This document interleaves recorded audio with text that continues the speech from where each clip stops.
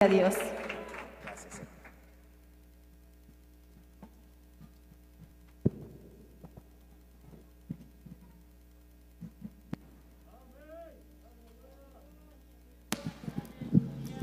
Gloria a Dios.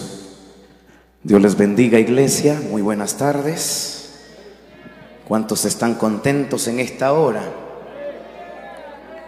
Tenemos una tarde muy hermosa, muy bella muy linda en la presencia de Dios, porque Dios nos ha dado la vida, el alto privilegio y honor de estar vivos un día más. Amén. Así que les saludamos en el nombre de Jesús. Ahora es bien normal uno andar con gripe, hermanos. Se ha vuelto tan normal andar mocoso uno, hermano. Pero bendito el nombre de Dios que estamos vivos. Amén. Los que nos dedicamos a trabajar con la garganta y los pulmones, estamos siempre expuestos a un resfriado. Y yo he estado entre, entre, entre Escuintla, entre Suchitepeques, entre Reu y Mazate y Quetzaltenango. Entonces esos cambios de clima me han caído fatales en mi garganta. Pero mientras escuche mi voz, seguimos regañando a la gente. A su nombre, iglesia. Estamos contentos, ¿verdad? Quiero saludar primeramente a la sociedad de damas, al ministerio femenil, a toda la directiva por esta gran fiesta espiritual. También quiero bendecir la vida de nuestro amado pastor general, pastor Margarito Hernández, bendiciones en su vida, en su familia. También a nuestro amado pastor José Hernández, a su amada familia a toda la congregación que conforman, eh, que se reúnen en este templo para glorificar al Señor, que Dios les bendiga grandemente. Sabemos que cada fiesta se hace con colaboradores, con gente generosa y con gente que está trabajando. Mientras usted está aquí, quizás el resto de hermanos está haciendo alguna, algún trabajo, alguna asignación. Así que queremos bendecir a todos los que están trabajando, a los ofrendadores, a los colaboradores, a los patrocinadores, aquellos que dieron una ofrenda para que esta actividad fuera una realidad, que Dios les bendiga. También queremos saludar a los pastores presentes, a las iglesias, hermanos quizás de otra congregación que nos acompañan, algún amigo, que Dios bendiga grandemente. Saludos a Orquesta Bendición, mi banda, mi banda, ¿va? Escucha bonito. ¿Ya oíste, Dani? Mi banda, Dani. Ah, pues. Dios bendiga a Mardoqueo, el director. Dios bendiga a Dani, que es el vocalista principal. Dios bendiga a todos los muchachos. Nosotros nos conocemos, viajamos algunas veces. Y gracias a Dios por estos muchachos que Dios está usando. Dios bendiga también a Minor Morales. Por ahí está Minor. Bendiciones en su vida, varón de Dios. Dios bendiga a las hermanas que han estado participando en este servicio, hermanos y hermanas que han estado tomando un tiempo especial, bendiciones. A la hermana coordinadora, bendiciones también. Saludos a los medios de comunicación que nos están llevando a diferentes lugares. Está transmitiendo Bendición Producciones, Manantial de Vida, Elohim TV y WG Production. Así que Dios bendiga entonces en diferentes lugares donde nos están viendo. También Dios bendiga al hermano Luis, está por allá en la consola principal. Dios bendiga, siervo. Un gusto saludarle otra vez. Muy bien, vamos a la palabra de Dios esta hora. Para los que me conocen, yo soy Byron Kruga. Y para los que no, también soy Byron Kruga. Tome su Biblia rápidamente. Y vamos al libro de Génesis en su capítulo 2, en su versículo 18.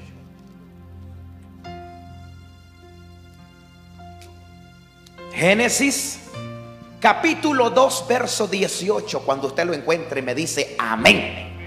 Y leemos palabra de Dios. Dice así, honramos al Padre, honramos al Hijo y honramos al Santo Espíritu de Dios. Las sagradas escrituras dicen de esta manera. Y dijo Jehová Dios, no es bueno que el hombre esté solo, le haré ayuda idónea para él. Dios bendiga su palabra. Siéntese, pero no se duerma. Este horario que tenemos ahorita, pues el cuerpo se acomoda y se duerme. Pero usted mantenga los ojitos abiertos. Si le da sueño, póngase de pie, venga a la pared y hágale así, ve, para que no se duerma. Quiero titular a este mensaje Cualidades de una mujer virtuosa. ¿Cómo se llama el mensaje? Y no quiero centrar mi mensaje solamente en las damas. Alguien me dijo, predicarle solo a las mujeres, pero no, les va a caer a los hombres también. Porque no es justo que solo venga a predicarle a las mujeres y los hombres muy bien, gracias. No, no, no, todos van a cachar parejos esta tarde. Así que el tema para esta tarde se titula Cualidades de una mujer virtuosa. Mis queridos hermanos y hermanas, no cabe duda que cuando Dios pensó en crear a la mujer, lo hizo con la mentalidad de hacer un ser perfecto, único, delicado e idóneo. Pero, ¿qué significa la palabra idóneo? Yo estuve averiguando en el internet y la palabra idóneo quiere decir que reúne las características necesarias y correctas para desarrollar una función. Cuando Dios creó a Eva y Dios pensó en hacer una mujer idónea, lo hizo porque ya existía un hombre idóneo. Si Adán no hubiese sido un hombre idóneo, Dios no le hubiera hecho a Adán una mujer idónea. Detrás de cada mujer idónea tiene que haber un hombre idóneo. Porque qué chiste tiene que un hombre malo, grosero, golpeador, irresponsable e infiel tenga una mujer idónea. ¿Será justo eso? ¿Que un hombre malo tenga una mujer buena? Por eso cuando Dios creó a Adán, lo hizo perfecto. Cuando Dios creó a Adán, lo hizo idóneo. Cuando Dios creó a Adán, lo hizo también con virtudes hermosas. Por eso cuando Dios pensó en hacer a Eva, Dios dijo, voy a hacerle a este hombre una mujer que se acople a él, una mujer perfecta, una mujer virtuosa, una mujer idónea. Por eso un hombre malo no puede tener una mujer idónea.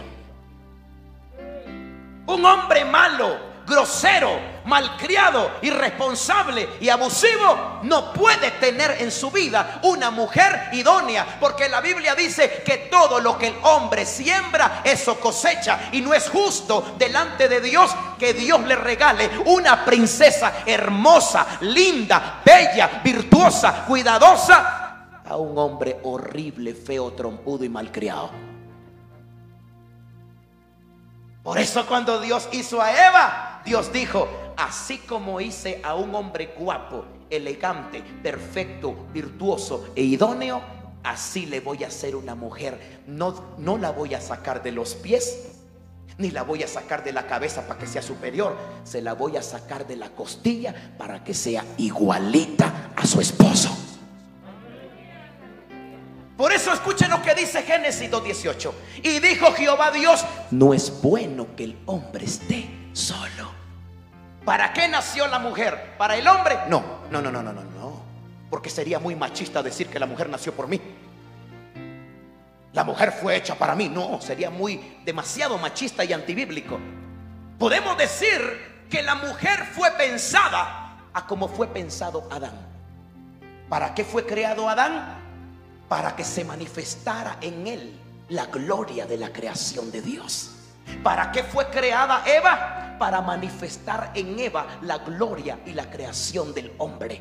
Pero el hombre estaba incompleto. Dios tuvo que hacer a una mujer a la par de él que le ayudara, que creciera con él, que soñara con él, que fuera una mujer productiva a la par de su esposo.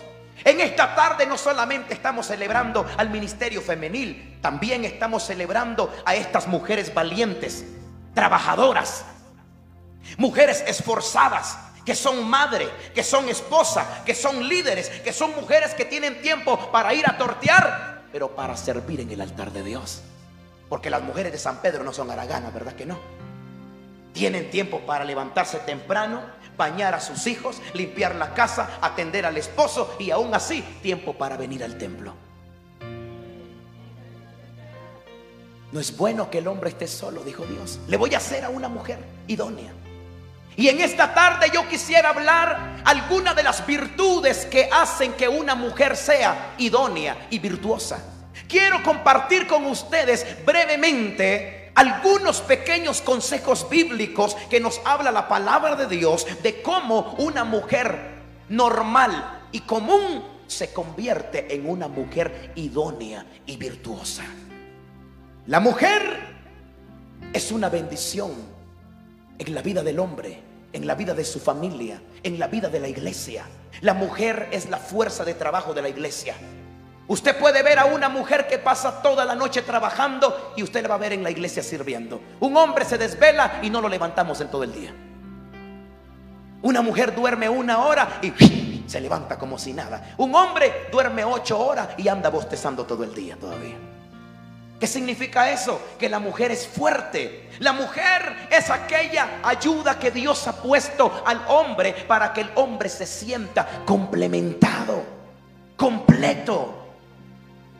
Le voy a decir algo. Escuche lo que dice. Para que en un hogar haya una mujer idónea, tiene que haber un hombre idóneo. Muchos hombres quieren tener una mujer idónea, pero ellos no son idóneos. Muchos hombres le piden a Dios y le dice, Señor, dame una mujer idónea. Pero el Dios de la gloria dice, para que tú tengas una esposa idónea, tú tienes que ser un hombre idóneo. Tú tienes que convertirte en alguien productivo, en alguien que tenga virtudes que ayuden a la iglesia a crecer.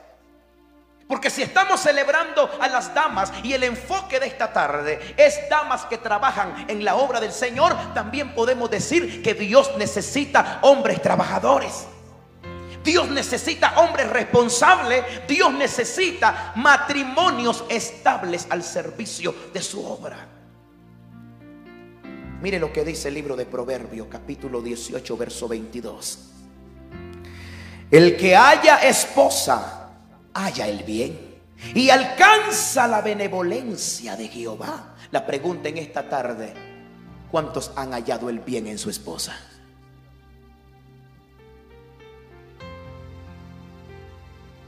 ¿Cuántos tienen una mujer en la cual usted ha encontrado el bien? Porque en estos tiempos peligrosos que estamos viviendo, los matrimonios están siendo amenazados. El enemigo se ha estado metiendo en las familias para destruir cuánta infidelidad, cuántas rupturas matrimoniales, cuántos problemas en el hogar, en el matrimonio, iglesia. Por eso la Biblia dice, aquel que haya esposa, haya el bien y alcanza la benevolencia de Jehová. En otras palabras, el premio para un hombre que se porta bien es encontrar a una esposa idónea. Si usted ha encontrado una esposa idónea, cuídela, ámela, respétela. Quisiera hablar en segundo lugar de otra de las cualidades también que la mujer de Dios tiene que tener en su vida. Ya dijimos que una mujer tiene que ser idónea. Otra de las cualidades de una mujer virtuosa es la sabiduría. Diga conmigo, sabiduría. Pero ¿para qué es la sabiduría? Para tomar decisiones correctas. ¿Para qué es la sabiduría? Para encaminarse por un camino que no trae destrucción y fracaso. ¿Sabía usted que la Biblia dice, Proverbio 31:10, mujer virtuosa? ¿Quién la hallará? Esta es una pregunta. Cuando la Biblia pregunta, ¿quién la hallará? Se está preguntando la Biblia, mujer virtuosa, ¿habrá algún valiente que la encuentre? Generalmente cuando hablamos de una mujer virtuosa, iglesia, estamos hablando de una mujer que tiene la capacidad de producir efectos positivos en alguien. Una mujer virtuosa es aquella mujer que está llena de la gracia de Dios en su vida Una mujer que cuida su hogar, una mujer que cuida su llamado, una mujer temerosa de Dios que tiene en primer lugar a Dios y a su familia. ¿Podemos decir que hay hombres virtuosos también? Así como hay mujeres virtuosas, también hay hombres virtuosos. Y podemos decir, mis amados hermanos, lo que dice Proverbio 31:10. Dice, mujer virtuosa, ¿quién la haya? La haya aquel hombre que verdaderamente busca la dirección de Dios.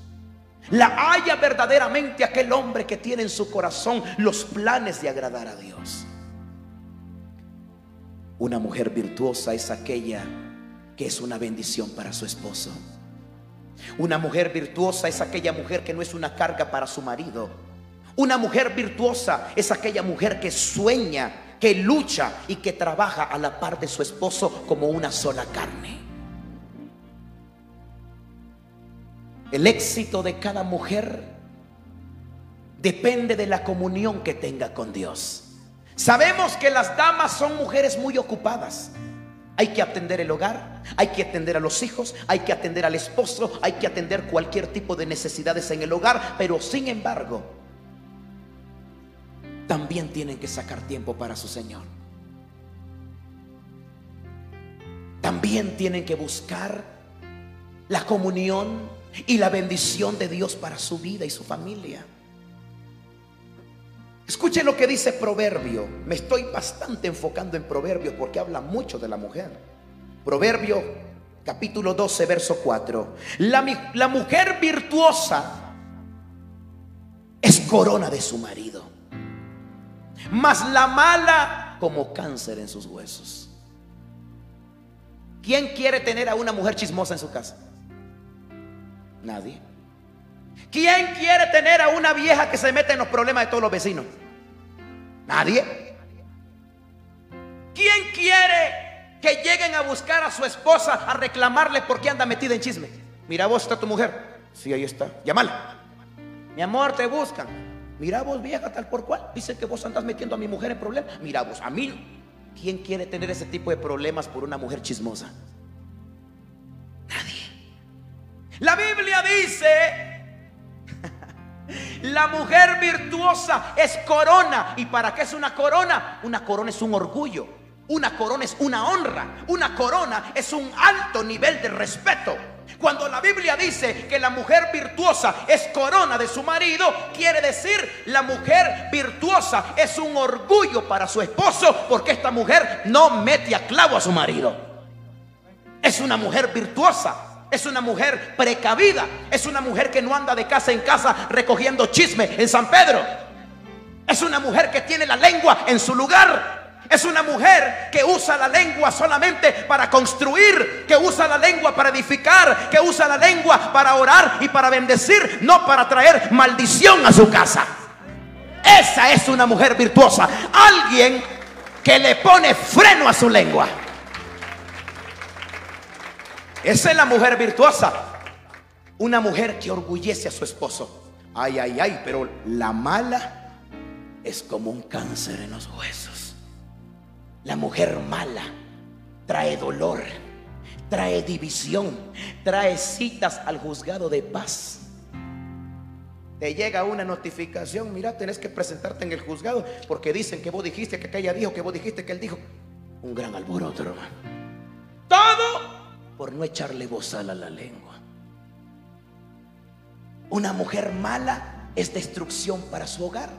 Una mujer mala trae problemas a la comunidad. Una mujer mala trae división a la familia. A una mujer mala ni la familia la quiere por problemática y chismosa. Pero a una mujer buena, pastor, ah, te invito a comer un caldo de gallina, porque cada vez que hablo contigo, solo cosas bonitas y de bendición me decís. Qué bonito cuando una mujer dice cosas bonitas. Qué bonito es cuando una dama, en vez de andar pelando a la gente, bendice a la gente. Qué bonito. Qué bonito cuando en los labios de una dama hay siempre palabra de bendición, no una palabra de crítica, ni de chisme. A mí me gustaría un día que me case, si Dios lo permite, tener una esposa que no salga de la casa Y si va a salir, que sea comprar a la tienda, que sea al mercado, que sea visitar a su mamá, que sea conmigo de la mano para presumirla en la calle. Pero que yo llegue a mi casa y me doy cuenta que mi esposa anda recogiendo chismes en todo el vecindario. Qué horrible, hermano. Qué horrible. Esa no es una mujer idónea, es una mujer demonia. ¿Mm? Qué bonito es una mujer llena de la palabra de Dios en este tiempo difícil, tiempo de pandemia, tiempo donde la economía está muy mal, tiempo donde no hay negocio, donde no hay trabajo. Es necesario que se levanten mujeres de oración, mujeres que peleen la batalla, mujeres que sean una bendición para su matrimonio, mujeres que oren por su esposo, mujeres que sirvan en la casa del Señor. Es necesario que Dios levante verdaderas mujeres comprometidas con Cristo. Es necesario. Ay, Jesús. ¿Sabe por qué? Proverbio 31:30. Engañosa es la gracia. Y vana esa carita de modelo. Pero la mujer que respeta a Jehová, esta será. Hable bien, hermano. Esta será. Es que nadie habla bien de una mujer mala. Nadie habla bien de una mujer mala. Ah, pero de una mujer buena. Es que la esposa de aquel, qué cariñosa que es, dice.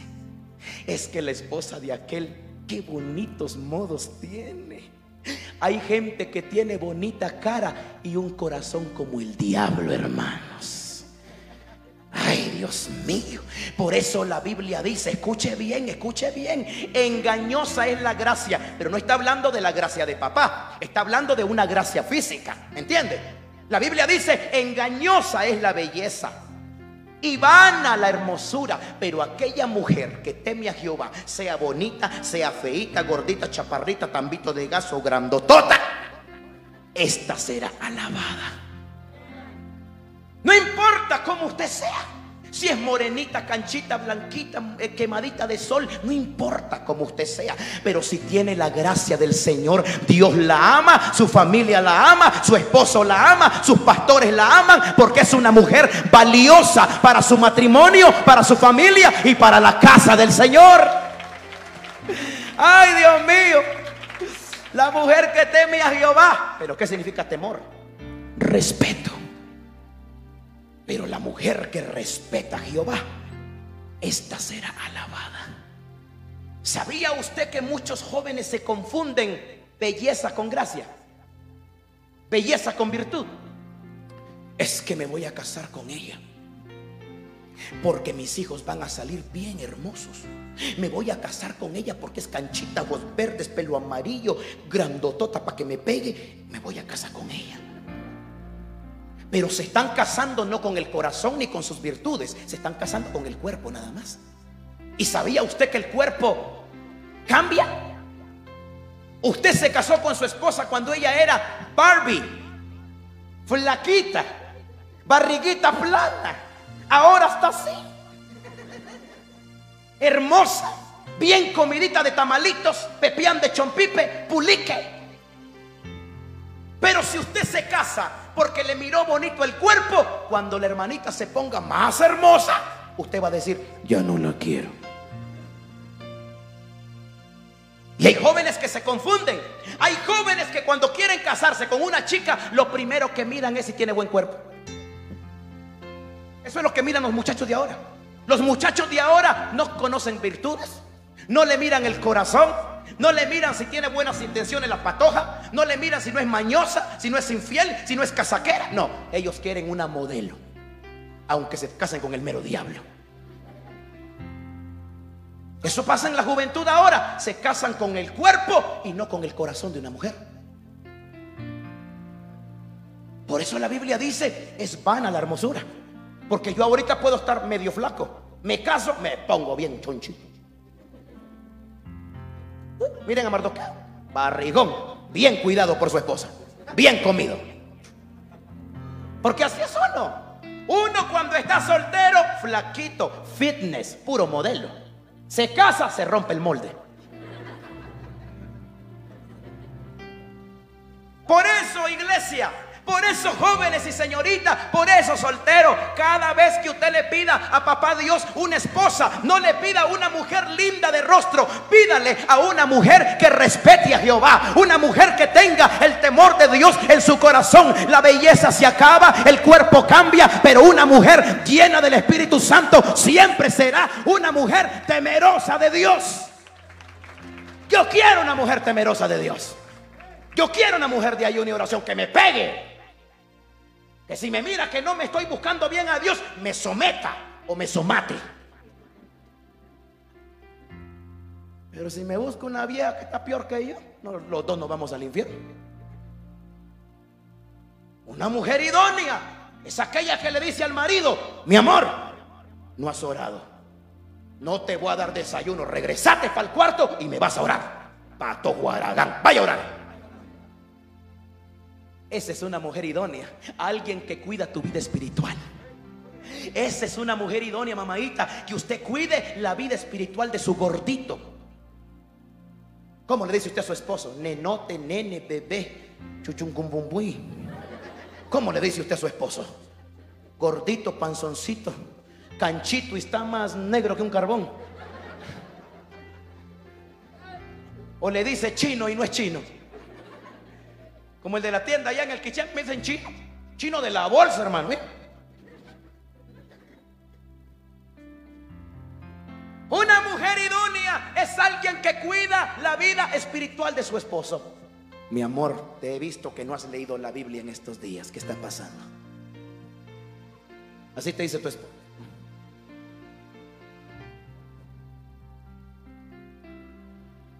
Porque la mujer tiene que decirle a uno las cosas. Te regaña tu esposa minor, te somete al orden. Esa es una mujer idónea. Mi amor, te he visto que no has leído la Biblia estos días. ¿Qué está pasando? Mi amor, te he visto que no has estado orando. ¿Qué está pasando? Mi amor, te he visto que últimamente ya en la iglesia ya no estás adorando como antes. ¿Qué pasa? Una mujer idónea es alguien que se preocupa de la salud espiritual de su familia. Otra cualidad que tiene la mujer virtuosa es que es sabia. Le decía anteriormente que la sabiduría es para tomar decisiones correctas. La sabiduría es para no fracasar caminando por un camino que no es el de Dios. Proverbio capítulo 14, verso 1 dice así. La mujer sabia edifica su casa. ¿Qué más dice? Pero la necia con sus manos la derriba. Una mujer sabia tiene los frutos del Espíritu Santo en su vida. Una mujer sabia es una buena administradora de los recursos económicos de su esposo. Una mujer sabia es aquella mujer que le dice al esposo, mi amor, no vayamos a comer a campero porque no tenemos ahorita para ese gasto hagamos frijolitos en la casa. Hagamos una hierbita aquí mejor. No vayamos a gastar esos 150 porque nos va a hacer falta para el mercado de la semana. Mujer sabia. Pero hay mujeres que no son sabias. Miran que el marido no tiene y lo van a llevar a campero. El pobre hombre buscándose la ficha ahí para pagar. Esa no es una mujer sabia, es una mujer necia. Una mujer sabia es aquella mujer que estira un billete de a 100 con tal de que su esposo no malgaste el dinero. Una mujer sabia es aquella mujer que no pide un corto de 5 mil cuando su esposo apenas tiene para uno de 800. Una mujer sabia es aquella mujer que tiene dos pares de zapatos y no quiere tres, ni cuatro, ni cinco, ni seis. No, porque no tiene seis pares de pies. Tiene solo un par de pies. Pero hay mujeres, mi amor, comprame este cómprame el otro. Es que estos zapatos que tengo no combinan con este corte. Quiero zapatos rojos, otros verdes, otros azules, otros morados, otros gris y otros arcoíris por si acaso. Una mujer sabia sabe que estamos pasando en un tiempo de pandemia. Una mujer sabia sabe que hoy puede que haya y mañana puede que no haya. Una mujer sabia sabe que hoy se puede vender el producto y mañana no se vende nada porque el viejo loco de Yamatei nos puede encerrar otra vez. Ya nos pusieron toque de queda hoy de las 10 de la noche para adelante. Imagine que si a este viejo le agarra la locura y nos encierra todo el día. Tiendas cerradas, solo farmacias abiertas. Rayado lo de la farmacia y lo de la funeraria. Rayados. Porque son los que están haciendo más billete ahorita. Si tenés una funeraria, ya sos millonario ahorita. Si tenés farmacia, te va bien en la vida. Pero si tenés una tiendecita, entre más avanzan estas restricciones endemoniadas que están poniendo, más la economía para abajo. Pero una mujer sabia guarda, guarda, ahorra, ahorra. Si no hay que comer camperos, pues comamos hierbita, pero ahorremos porque mañana no sabemos. Esa es una mujer sabia. Esa es una mujer que tiene un esposo a su cuidado. Esa es una mujer que Dios está levantando con sabiduría. Escuche, la mujer sabia construye su casa, construye su matrimonio, pero la necia destruye su matrimonio. ¿Dónde estás vos? ¿Con quién estás? ¿Por qué estoy escuchando viejas ahí? ¿Y por qué? Mira, te la mantenés solo en evento, solo en evento, solo en evento. Necia, mujer necia. ¿Por qué no ha venido a la casa? ¿Qué, ¿Dónde estás? Mira que algunas damas son necias y no entienden que el marido tiene que trabajar. Hay mujeres que quieren al marido en la casa. Solo le falta poner una cadenita y jalarlo como chuchito. Solo eso falta. Hay mujeres controladoras que no dejan que su esposo tenga paz. Sale el marido a comer con amigos. Ahí está la vieja. ¿No estás? ¿Y qué me vas a hacer? ¿Con quién estás? Con el Byron. Pásame al Byron.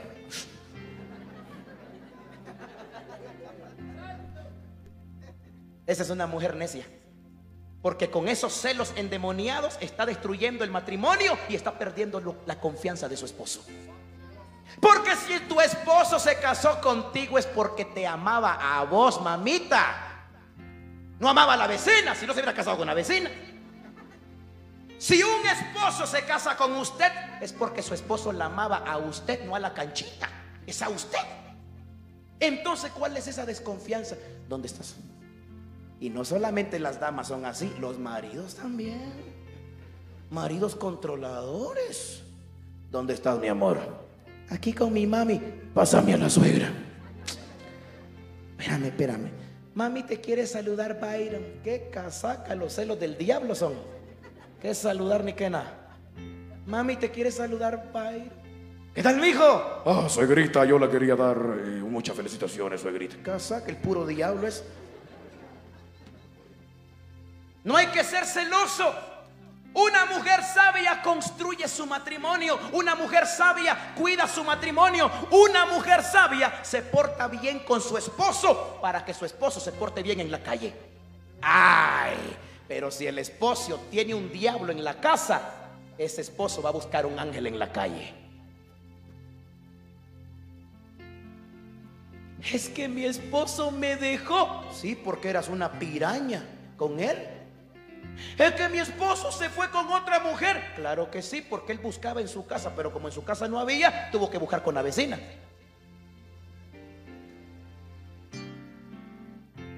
El mundo es un desierto. Les voy a cantar más allá del sol. Tienen cara de muerto ustedes, hermano. Sonríe, no esté todo serio, hermano. Sonríe. Dele un aplauso a Cristo de la gloria en esta tarde. Aleluya. Qué bueno es el Señor. Una mujer sabia no anda metida en los problemas ajenos, se mete en los problemas de su casa. ¿Cómo yo voy a ir a barrer la casa del vecino si la mía se está pudriendo de tanta basura? ¿Cómo yo voy a ir a la casa de Mardoqueo? Lo digo de Mardoqueo porque él que cuate que no se enoja conmigo.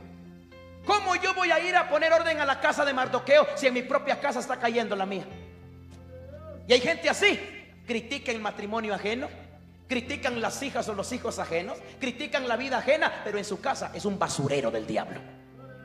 Hay problemas, hay celos, hay envidia, hay chismes, hay críticas, divisiones, problemas por un pedazo de tierra, etc. Y hay gente que quiere agarrar la escoba para ir a barrer la casa del vecino, pero su propia casa está en ruinas. Por la vida, el matrimonio o la familia ajena, pónganse todos en el espejo de su casa y digan, ¿soy esposa idónea? ¿Soy mejor que mi vecina? ¿Tengo mi matrimonio mejor que el del vecino? ¿Mis hijos son mejores que el del vecino? Y si la respuesta es sí, tenés derecho de meterte en la vida ajena. Pero si la respuesta es no, trabaja en tu propia casa primero. Construye tu propio hogar primero. ¿Sabe qué dice primero de Timoteo? Capítulo 3, verso 11. Las mujeres asimismo sean honestas, no calumniadores, sino sobrias, fieles en todo.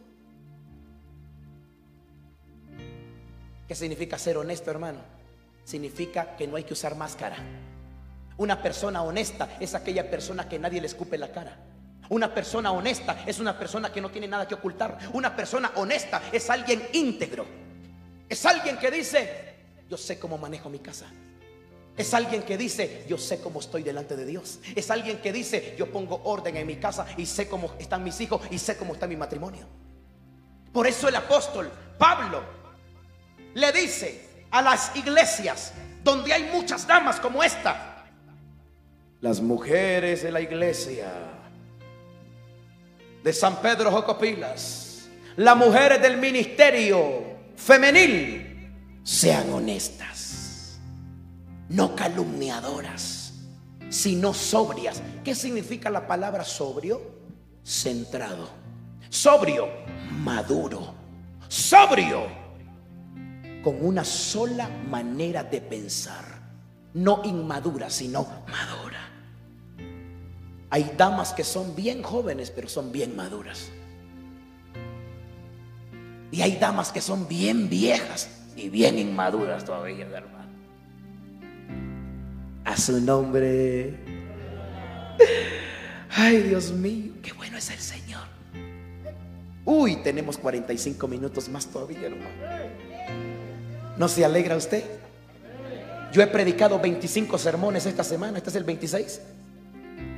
Y míreme, se me mira que ando con dos horas de sueño. Ah, verdad que no. una buena bañada con jabón de coche. ¡Uy! Se levanta una. Y aparte de ser saludable, me deja el cabello manejable. ¡Aleluya! ¡Ay! Ahorita les va a caer mucha. Voy con los hombres. Ya bendije a las hermanas damas. Ahora sí amárrense el pantalón, caballero, que les va para usted.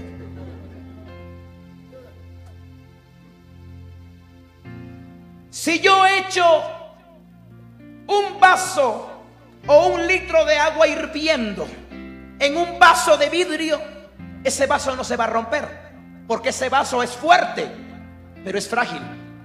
¿Me entiende cómo está el asunto? Un vaso de vidrio aguanta una agua que hierve a 100 grados centígrados. Un vaso de vidrio aguanta una agua que esté a 3 bajo cero de puro frío.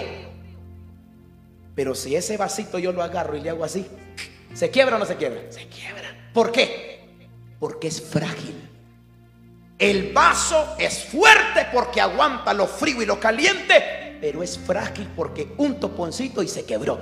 Así son las mujeres fuerte cargando nueve meses un patojo, trabajando en la milpa con el asadón, torteando, yendo al mercado, cargando un canasto de producto y con el bebé ahí.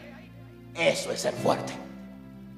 Y encima de eso, cuando van a dar a luz, sin anestesia, ¡pum! tiran el chamaco. Eso es ser fuerte. Imagínense los hombres con un dolor de cabeza, cinco acetaminofén los hombres con un pequeño malestar en el estómago, tres alcadé para tapar bien esas tripas. Imagínense las damas con nueve meses, mi querido pastor, trabajando. Y si tienen milpa con el asadón, embarazadas. Y si tienen hijos, los bañan, los cambian, colegio y así, corriendo. Y embarazadas, trapeando, cocinando, torteando. Eso es ser fuerte.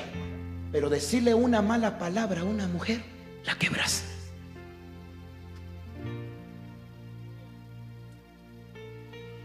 Tienen tanta fuerza que pueden tener a un bebé sin anestesia. Y pujan y pujan y sacan ese bebé. Y viene al mundo. Y les duele. Eso es ser fuerte. Pero decirle una mala palabra a tu esposa, la quebras, la haces llorar. Las mujeres son fuertes, pero son frágiles. Vamos a la Biblia, caballeros. No me estén viendo con esos ojos de chivo arcado. Primera de San Pedro. Primera de San Pedro, pero no Jocopila, sino Pedro el apóstol. Bajémosle al, micrófono, papadito, bajémosle, ya me le subieron mucho. Primera de San Pedro, capítulo 3, verso 7. Escuchen, maridos. Vosotros, maridos, igualmente vivid con ella sabiamente, dando honor a la mujer como a vaso más frágil. No dice más débil, dice más frágil. Ajá y como a coherederas de la gracia de la vida, para que vuestras oraciones no tengan estorbo. ¿Cómo es posible que maltratas a tu mujer? La ofendes, la herís, la quebrás con una mala palabra y venís a cantar, te doy gracias Señor por tenerme así. Ese canto tiene estorbo porque no has respetado a tu esposa. Por eso dice el apóstol aquí, maridos, vivan sabiamente con su mujer. Trátenla bien porque ellas son vaso frágil. ¿Para qué, papá? Para que cuando vengas al culto a hablar en lenguas, esas lenguas sean recibidas y no seas un hipócrita. Pero si en tu casa maltratas a tu esposa, la herís, la lastimás, la pateás, la abusás, la golpeás y en la iglesia vamos a cantar los coros. Así, así, así, así, así. Tu esposa va a decir allá en la silla, desgraciado, aquí pareces cristiano, en la casa sos el puro diablo, demonio, cochino. Parece mentira, pero hay maridos cristianos que abusan de su esposa. Parece mentira, pastores, pero aún en las congregaciones hay maridos que pegan a su mujer. Yo los he visto, desgraciados, yo los he visto. Cobardes. El otro día había un señor pegándole a su esposa, vos, vos Mardoqueo, después de un evento. Ay, papá, yo ya le daba, se lo prometo. Se lo prometo, siervo. Venite vos, viejo, Dios conmigo si vas a encontrar. Pero, mano, pegándole a su esposa después del culto. Ay, yo dije solo porque soy el predicador y ando sin mascarilla. Si anduvieras sin mascarilla, yo con mascarilla te meto en esa milpa y ahí te quedas. ¿Cómo? ¿Cómo vamos a disfrutar de una verdadera comunión con Dios si en la casa golpeamos a una que es heredera de la gracia de Cristo también como nosotros? Por eso hay esposas que no creen en el Evangelio de sus esposos. Por eso hay esposas que no creen que su esposo es cristiano. Por eso hay esposas que desconfían de su marido. ¿Por qué? Porque si alguien te conoce mejor que tu pastor, es la que duerme contigo. Y hay damas que saben que su marido es mañoso. Y desconfían del marido. ¿Dónde estás, mi amor? Aquí, este, ¿dónde estás, mi hijo? Y eso ya no son celos. Eso ya no son celos. Hay un momento donde el marido es infiel y la esposa no controla. Porque si hay alguien que conoce al esposo, es la que duerme con él. Trate bien a su esposa. No es su cholera. No es su hija para que le pegue. Es alguien que salió de tu costilla para que usted la trate como a una sierva de Dios. Antes que sea tu esposa, ella es hija de Dios. Trátela bien. A mí me llaman muchos muchachos. Y me dicen, hermano Byron, ore por mi esposa porque se fue de la casa. Pero antes de orar yo le pregunto, ¿cómo eras tú con ella? Porque una dama bien cuidada, una dama bien respetada, una dama bien atendida y una dama bien amada no busca su tata ni su nana. Si una dama se siente bien protegida con su esposo, bien amada, bien respetada, bien querida, bien cuidadita, ¿para qué se va a ir esa esposa con su papá? No se va, porque una dama se queda donde la tratan bien. Una dama se queda donde la valoran y no la tienen como esclava. Una dama también necesita una flor. Una dama necesita un detalle. ¿Qué es lo que le regalas a tu esposa para el Día de la Madre? Una licuadora. ¿Qué es eso? Una estufa para que te cocine. A vos. ¿Qué le regalas a tu mujer para el 10 de mayo? Mamita, te compré un regalo, un sartén para hacer huevo duro. Eso no es regalo. Eso es para seguirla esclavizando a, tu mujer. ¿Sabes qué es un buen regalo de tu mujer? Decirle, mamita, hoy es tu cumpleaños. Hoy es el Día de las Madres. Hoy es como cualquier día, mamita. ¿Y qué estamos celebrando, mi amor? Pues nada, estamos celebrando que sos mi mujer y que tú me tratas bien y yo a ti también. Alistate, vamos a ir a comernos un caldo de pata con Don George, con chile caballo, con una mini coca y 25 tortillas calientes.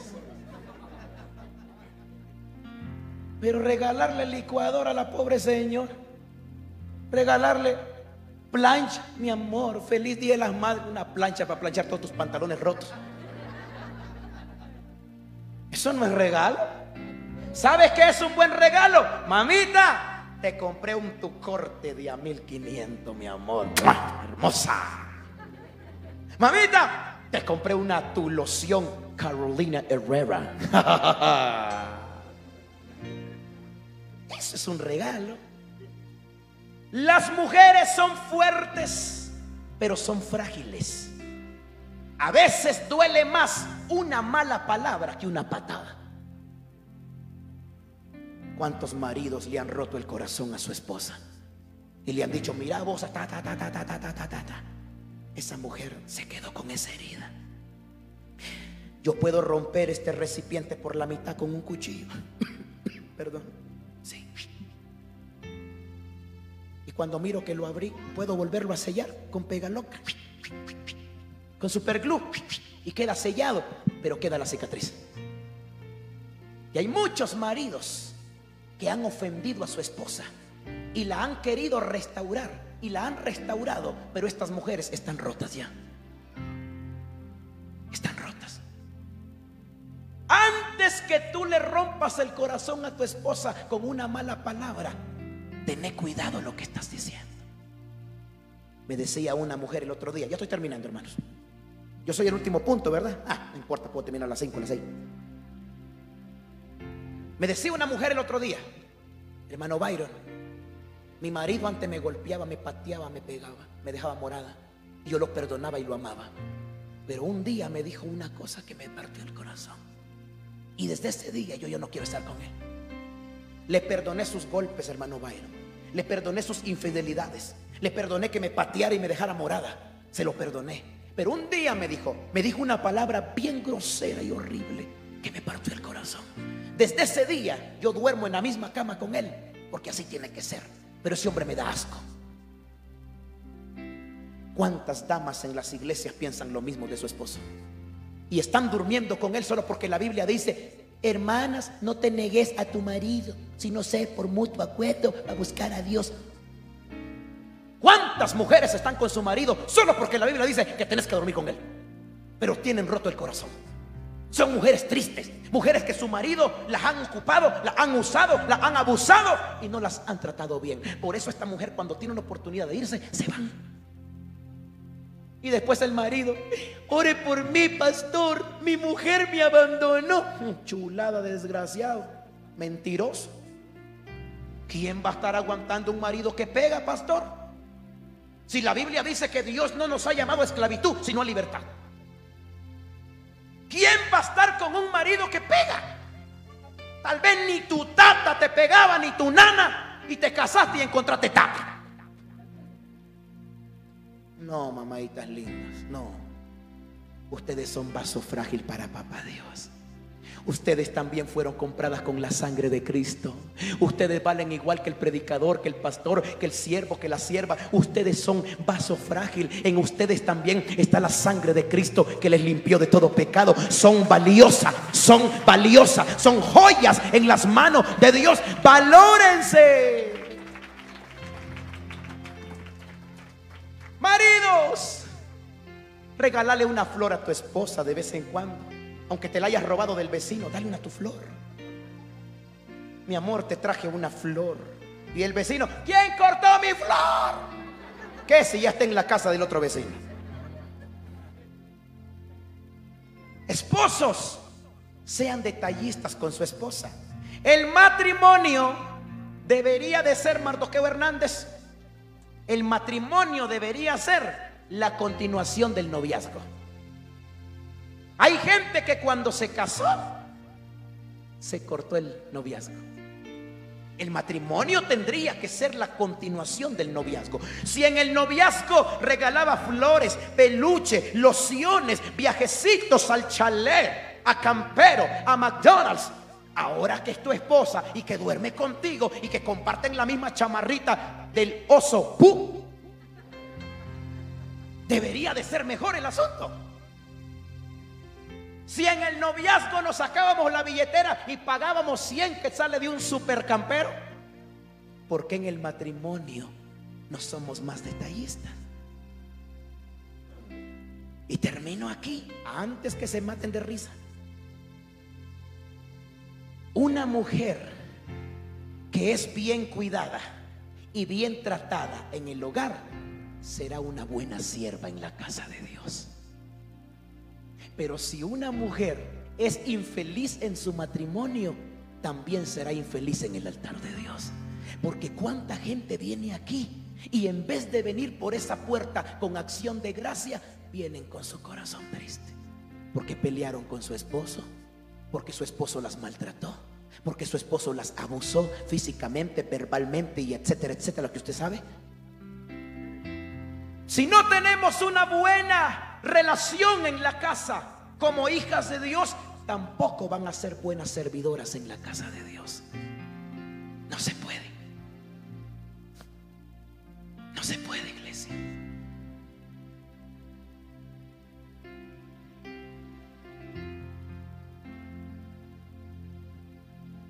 Les digo lo último.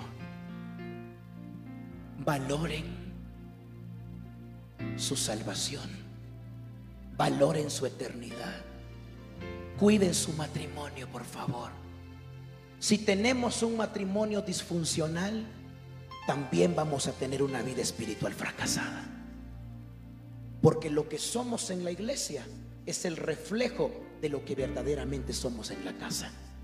Si en la casa tenemos un matrimonio sólido, estable, de oración, de respeto, de fidelidad, de confianza y de honra, también en la casa del Señor, ustedes, mis queridas hermanas, tendrán un ministerio glorioso y exitoso.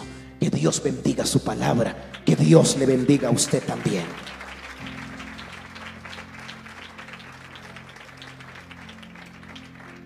Incline su rostro, vamos a orar por esta palabra.